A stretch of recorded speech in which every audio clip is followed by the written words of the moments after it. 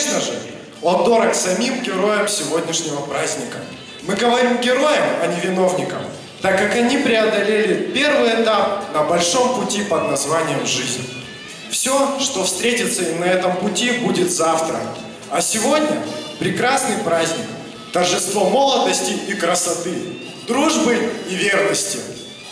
Встречаю выпускников 2016 года.